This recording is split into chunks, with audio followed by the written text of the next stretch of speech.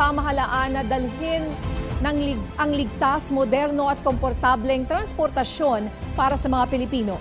Ito ang binigyang diin ni Pangulong Ferdinand R. Marcos Jr. sa paglulungsad ng Dongfang Motors kahapon.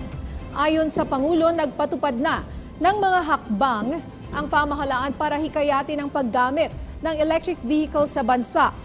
Giit ng presidente, hindi lang makakatipid sa gasolina, makakatulong pa sa kas- kalikasan. Kasalukuyan anyang ipinatutupad ng pamahalaan ang PUV Modernization Program kung saan ang mga benepisyaryo ay maaaring maka-avail ng loan at equity subsidies para sa pagbili ng electric vehicles.